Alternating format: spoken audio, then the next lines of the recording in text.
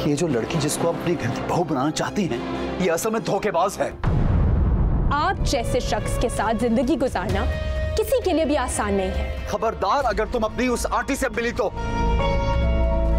ये दोनों बस केस जीतना चाहते आपको नहीं।